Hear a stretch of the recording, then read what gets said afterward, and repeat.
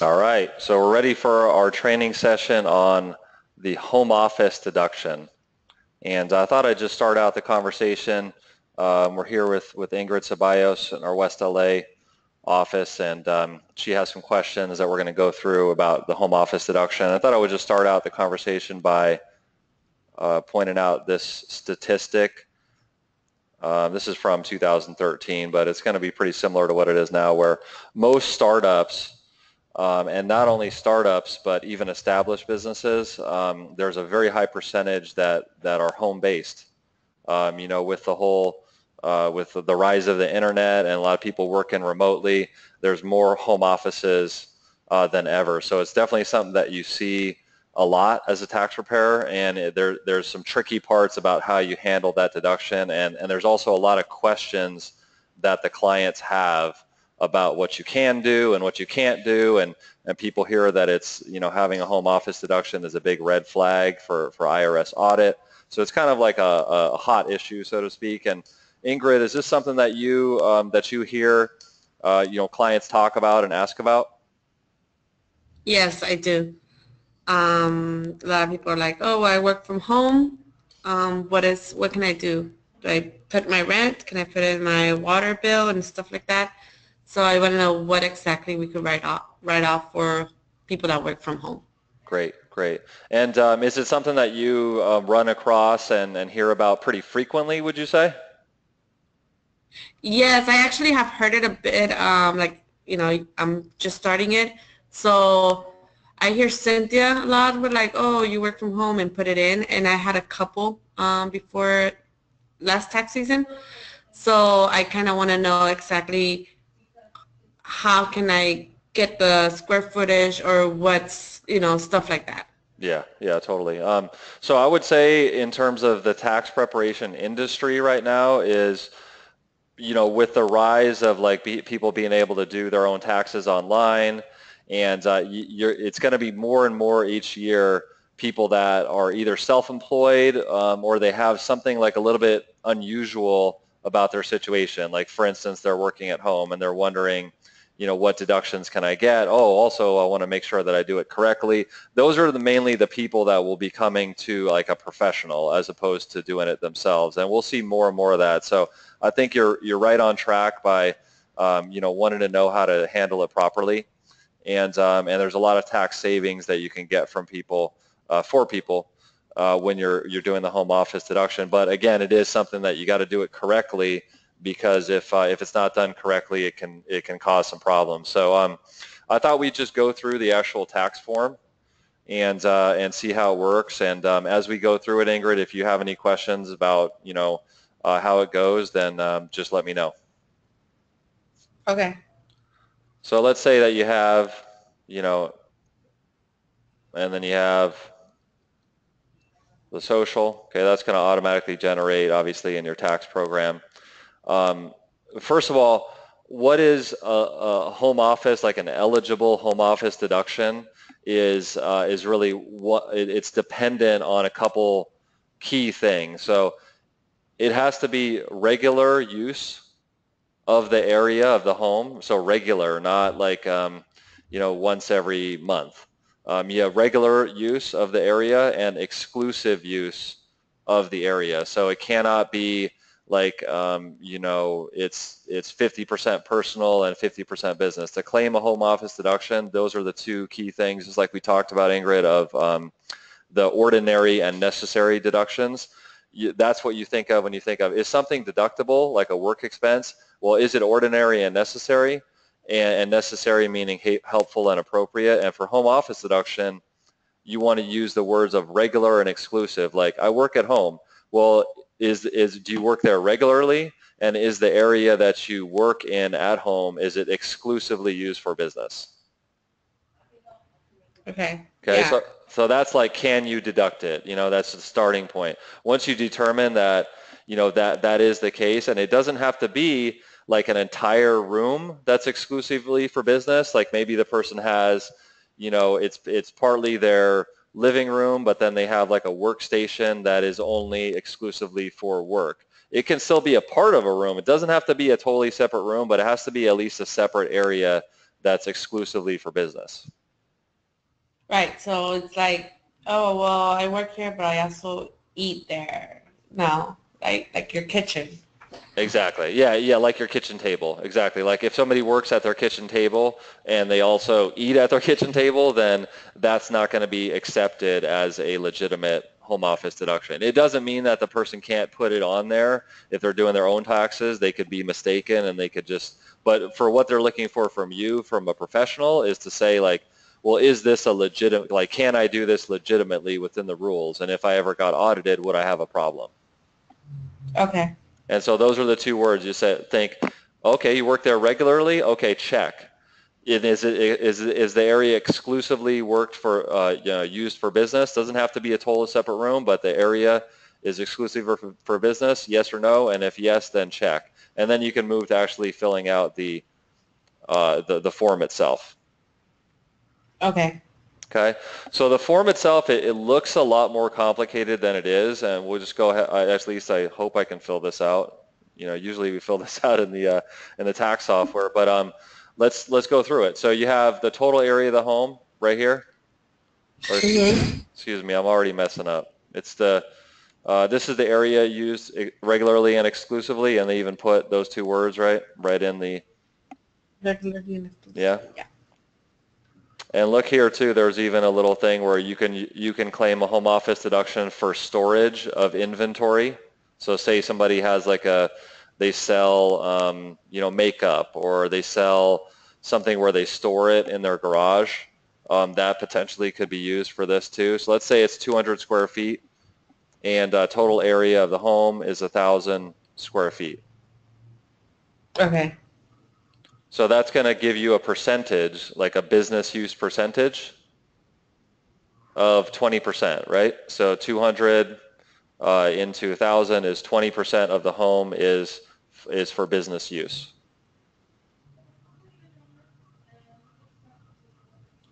Okay, they have a they have a couple kind of um, uh, fi finer points here, which is actually pretty interesting if you have daycare clients, clients that run a daycare out of their home where they uh, can obviously, like say you have a daycare at your house, you're the kids are going to be, we all know how kids are, they're going to run everywhere, you know, so it's not going to be like you can keep them in a one area usually. Um, yeah. you cannot this line. yeah. Yeah, like it, w- it wouldn't be a very fun daycare if all the kids were like confined to the home office and they were like in a 10 by 10 room. So, you know, with those, they let they let you actually use a different formula, which is based on like the number of hours that it's used. Um, but this, okay. you know, this it's the same thing. It's figuring out like, hey, this is your house, right? How much, what percentage of your house is is justifiably uh, you know, related to your business. And you're going to come out with a percentage here. So let's say it's, you know, for sake of example, it's 20%.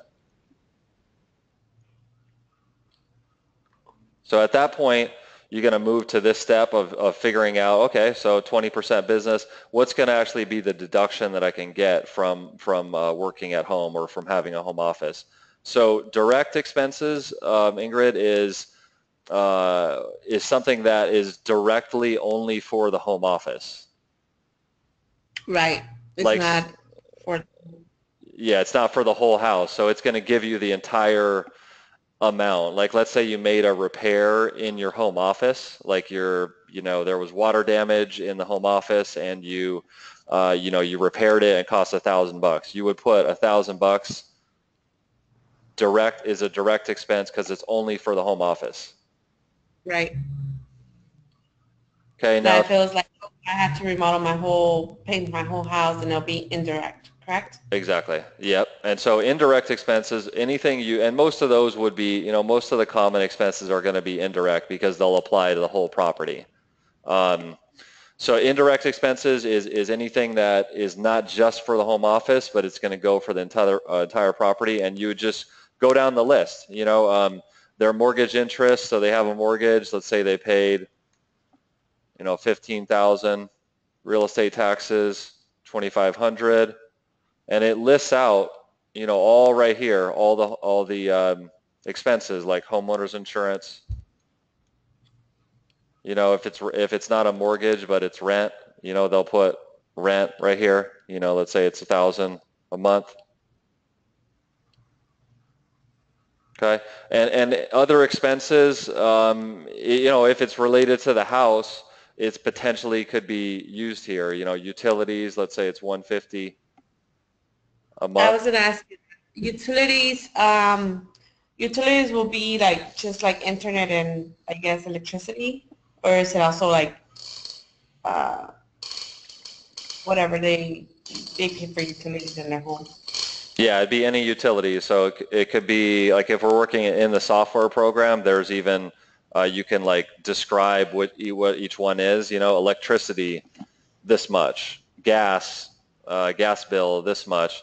Internet is kind of like um, it is a utility to some extent, but you probably want to figure out like how is the internet related to the person's work? Like, are they you know using the internet 70% for business? Maybe you could put 70% of the expense directly on the business form. You know, like is it a true utility? The utilities normally is like, um, you know, electricity and uh, and gas, or like you know your sewer sewer charges or something like that. So some anything that applies to the whole house. Okay, That makes I sense. get it. Um, Like- yeah, so if it's like, okay, let's say I work on my, I have to be on the, on the internet the, like the whole time for working from home. Yep. Would that be in, uh, a utility? You know, it could be like a lot of things in taxes, especially when you um, get into kind of some of these forms that are more uh, not complex, but they're a little bit more advanced. Is it's a judgment call. Like if someone's a um, like they work in internet marketing and they're on, like you said, they're uh, they're on the internet all day, every day, and then they might use it a little bit for personal, but it's mainly like you know they have a, a more a faster internet connection that's more that's more expensive because they are in that field of work right? Or you got to kind of like judgment call about how much of that is uh, you know is is work related. And if it's something where it's like you know the majority of it is work related what we'll sometimes do is um, and which is permissible by the IRS is you could put you know internet expense directly on the Schedule C. Can you hear me okay?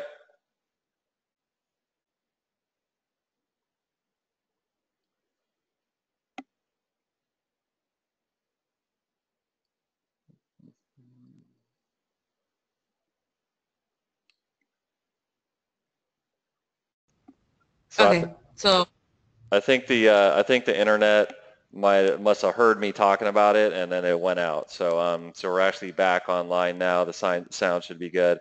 And we were talking about how there could be a judgment call. Like if you have someone who's self-employed and uh, you, you know Ingrid had asked, which is a great question, whether it would be better to put the uh, the internet expense as a utility on the home office form, or if there might be a more benefit in uh, taking the uh, the deduction directly on Schedule C. So let's say that we were talking about somebody that works online all the time. You might put like see if you put if you put the util um, the internet as a utility, right?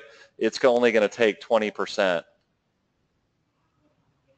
as a, as a deduction, right? Because it's going to apply the same business use percentage to all of these expenses. But in reality, the reality of the person's situation, the client situation may be more that, you know, internet is uh, actually, you know, 70% of their of their use of the internet is work related. okay. So that that's like it's a judgment call. You know, you, you want to see like, okay, what's the best deduction that I could get the client, but still within the rules of, you know, what's going to be acceptable to the IRS. So you, you can get into like little finer points like that with the home office form, and people actually appreciate if you're thinking like that because you're trying to understand like their, you know, their particular situation. Like let's say for instance that, you know, we had a client that's a software uh, developer and um, he was hosting like he had like five big like servers in his house that he was hosting other uh, uh, like pro software programs for his clients, and he was selling the server like as a service. Um, and, and so his electricity bill was like through the roof, you know, because that he had all these big computers hooked up.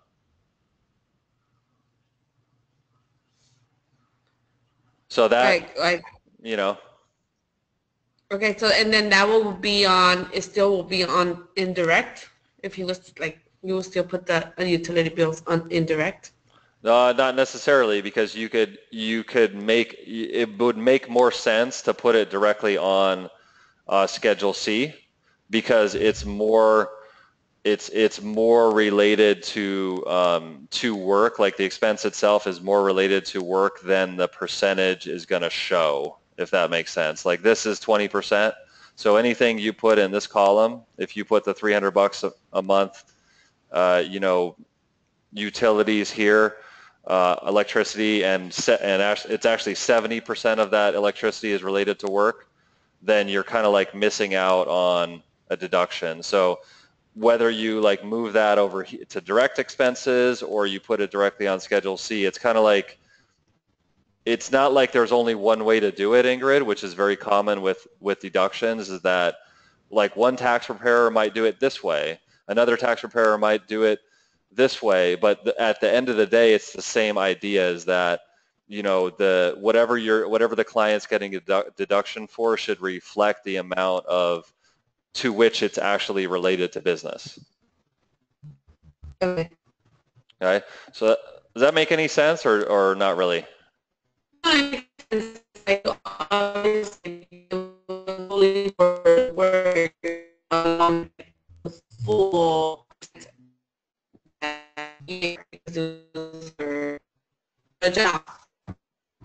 Exactly. So you're you might you might work through some uh, you know there's there's some more subtle and kind of things that you can do on this form, but for for this one I, I don't want to get too you know deep into the uh, into the weeds here. Most of them are pretty straightforward. So you basically take uh, all of these expenses, right, and you would add them up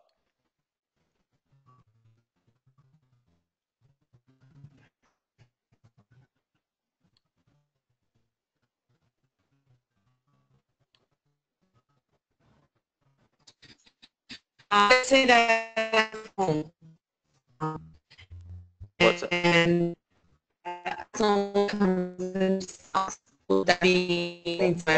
Hold on one second. Hold on one second. All right, we're back. Sorry for the uh, for the technical difficulties, but why don't you uh, repeat what you were just asking, Ingrid? So my question is, um, let's say I work from home and I have someone clean my house um, every two weeks or every week, Mhm. and she cleans my office as well. Would that be considered as a expense? Could I write that off? Yeah, you could write off the percentage. Um, so you would put like that would go under repairs and maintenance, right? Like how you know Mhm. keeping your house um, uh, clean. The house cle- uh, cleaner comes and it's a hundred bucks a month. So it'd be twelve hundred bucks would be the total uh, expense for the year, and then just like all these other expenses here, it's going to all based off this percentage. So it's going to end up with a you know deduction of uh, twenty percent of twelve hundred. And that Okay. says 12,000 too, so that'd be expensive. Okay, that makes sense. So yeah, you just basically go through anything that's related to the home, you know, that to, to um, all the expenses of the home. You, you know, you got to be careful in terms of like if someone does a big remodel or something like that and they spend like $100,000, you, you want to be careful with like big, you know, big expenses and, and kind of like check with your, you know, check with your supervisor or with a colleague that you're doing it right because once the numbers get real big, right, it's it's a little bit more uh, you got you just got to be careful. But normally it's pretty straightforward. It's like you figure out what the percentage is. You figure out, hey, is there direct expenses for the home office itself, or are all of them indirect? And then you just run down the list. You know, hey, what about this? What about that? What about this? Do you have renter's insurance? What about this? You know, what about uh, repairs and maintenance? What about um, how much is your rent? Uh, how much is your, your utility bills? And you just basically take all that and then let me see if I can actually uh, finish the form itself. So you take here, and obviously you guys, if, um, you know, if you're doing this on tax software, it's going to make these calculations for you automatically. But sometimes it's still helpful to look at the actual form.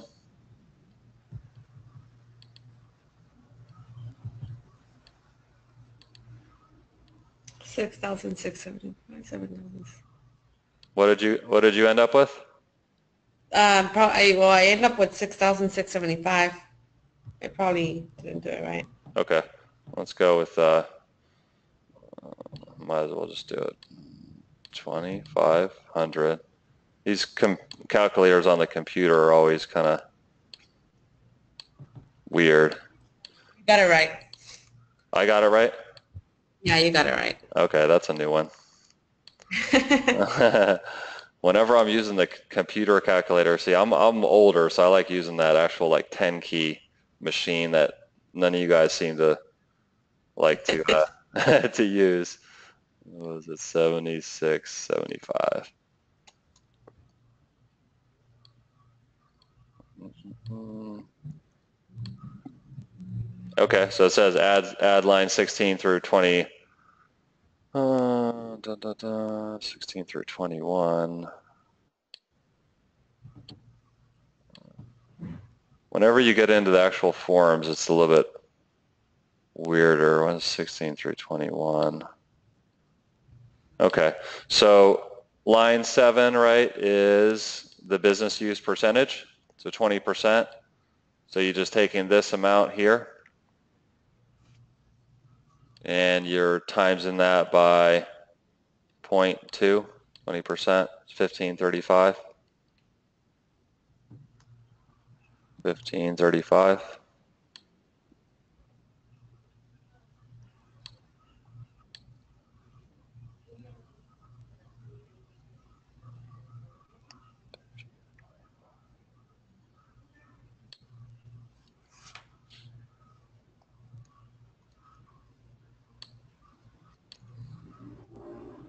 Okay, and you, you've got some other stuff that we're not going to get into on this video. There's a lot of different stuff that, you know, again, just like with almost everything having to do with taxes, you can you can get deeper into deeper and, and, and into all these, you know, like excess casualty losses, like what's that or whatever. So this video, we're going to keep it fairly basic and just say, you know, this is the amount of the expense, right, which is all your expenses added up times um, multiplied by the business use percentage. So you're getting a deduction of 1535.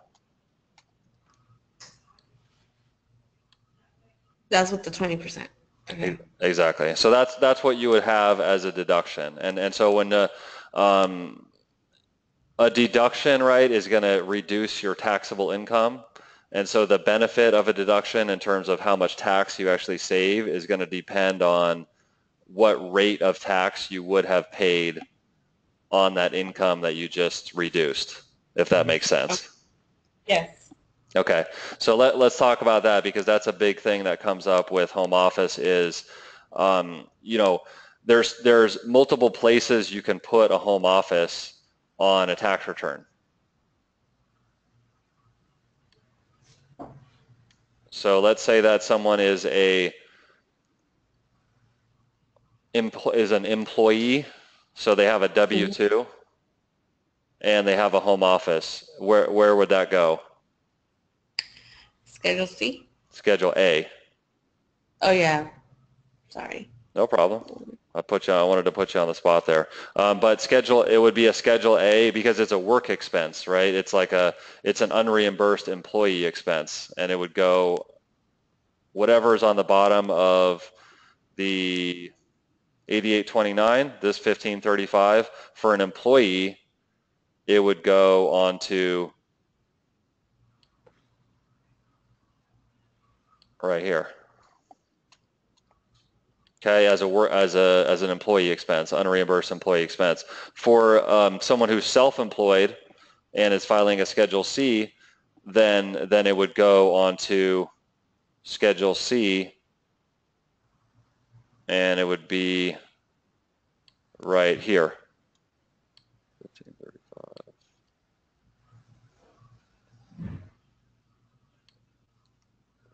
Okay, may, maybe even a home office could be, a home office expense could be for a, related to a partnership. And partnership income on a, uh, on, on the per, on a personal tax return is reported on Schedule E.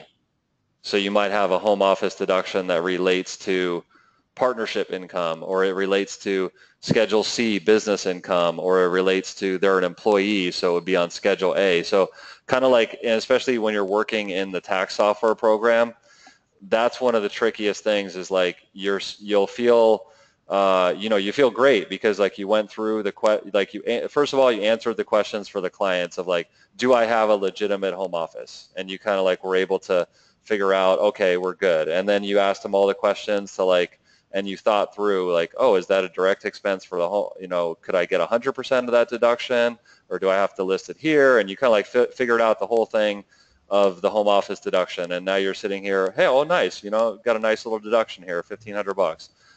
But where does that go?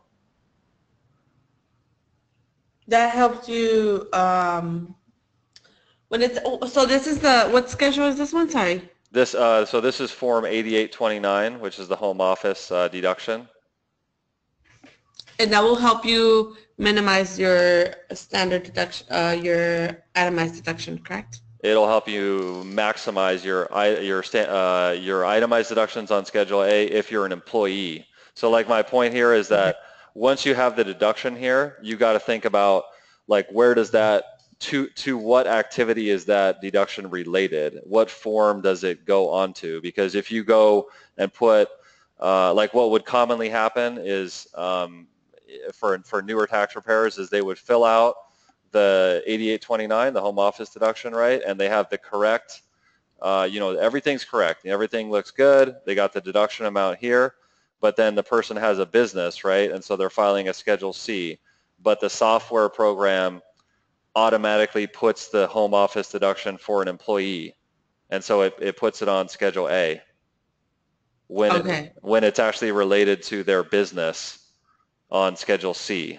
So it should be, you know, here's their business, right? And their home office deduction should be here. But depending how your software handles it, you got, in other words, you got to like, you got to make sure that the deduction lands in the right place, if that makes sense. Okay.